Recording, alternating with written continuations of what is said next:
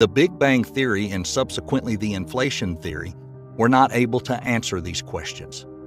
Fortunately, there was a different theory that was recently proposed, which may be able to explain to us the things we see in the universe now, as well as things that happened before and things that will likely happen in the future. The theory of the cyclic universe, also known as the oscillating model of the universe. The foundation for this view of the universe as if it were a living organism with its own cycles of existence was laid at the beginning of the 20th century. The Friedmann Robertson Walker model suggested that since the universe has been expanding since the Big Bang, it is only logical that at some point it compresses back into a singularity.